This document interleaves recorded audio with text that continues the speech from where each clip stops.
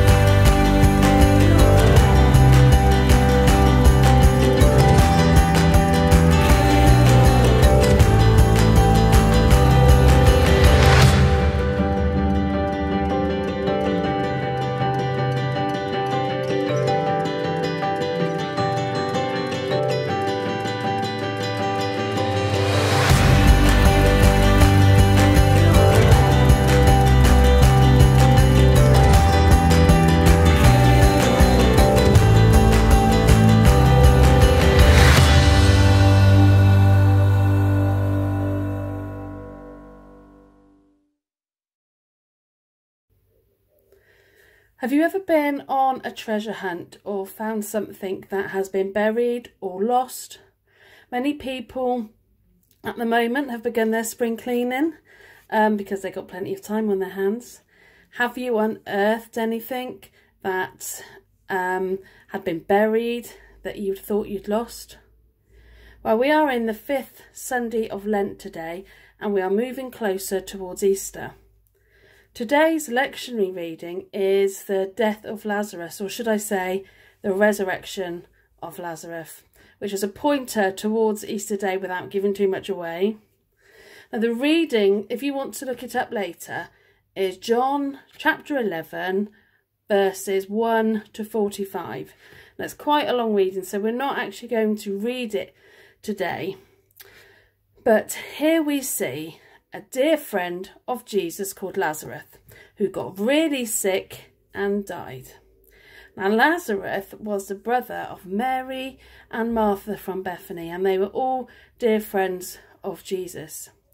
Now, when Jesus received a message saying that his friend was sick, Jesus said that this would not lead to death, but rather the glory of God would be shown to all. Jesus was not only talking about Lazarus coming back to life, but also what this would mean for those watching, what they would also believe. Now, Jesus knew that Lazarus had died, and he made the slow journey to Bethany, where he met Lazarus' sisters, Mary and Martha. And it says that Jesus was deeply moved in spirit and greatly troubled. Here we see Jesus having compassion and empathy as he weeps with them and struggles with the loss of a friend. Now Lazarus had been dead for around three or four days, and as they approached the tomb, he said to um, Martha, Did I not tell you if you believed you would see the glory of God? And he said, Lazarus, come out and he was still covered in the clothes he was buried in, and he walked out of the tomb. Now, one thing that stood out to me, apart from Lazarus being, Lazarus being brought back to life, is that Jesus told Martha that her brother would rise again. And Martha said to him that she believed that her brother would rise again on the last day in the resurrection. Jesus told her that he was the resurrection and the life. Those who believe in me, although they die, will live. And everyone who believes in me will never die. Do you believe this? The main point was to demonstrate that he who is the resurrection and the life is the Son of God, and that believing in him brings everlasting life. Now, if you look at the Gospel of John, it is written that you would believe and receive eternal life. Jesus is demonstrating the resurrection power of God which also they would see again after he himself comes back to life after his resurrection. Now, at this present time, we are surrounded by uncertainty, we are surrounded by isolation, loneliness, and for some, they are surrounded by grief. Where do we see this resurrection power that we read and hear about in John's Gospel? And in the midst of our grief and uncertainty, which many people are facing?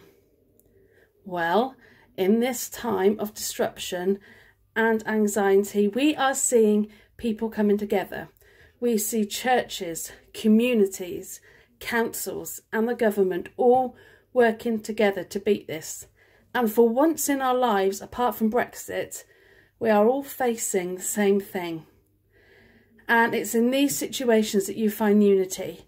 It's when we are united like this together, we are reminded that God is with us at all times, that we see resurrection of hope, resurrection of our strength and courage, and we see resurrection of our faith as God begins to restore and rebuild our lives each and every day, turning negatives into positives, and we can gain comfort in knowing that He is with us always, emotionally, physically, and spiritually.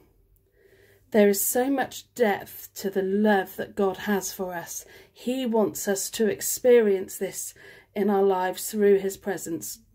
And we can see God's resurrection power all around us. And even if you're new to church or you're exploring your faith, you can restore and renew through God. God can restore and renew and bring situations back to life that you've got buried under the weight of all that is going on right now.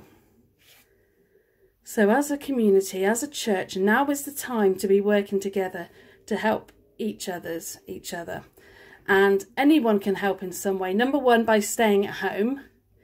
And number two, you might remember this from ITV. Britain Get Talking. Well, now is the time to unearth that and get talking to your neighbours, either on social media or by phone, or even from distance over the garden wall, or sending a picture or card, or even praying with somebody can make a difference.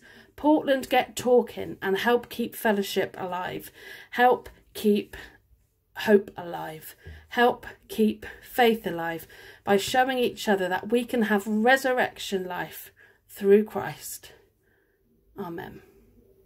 May God bless you in the days and weeks ahead, and may you find life in buried places. Amen.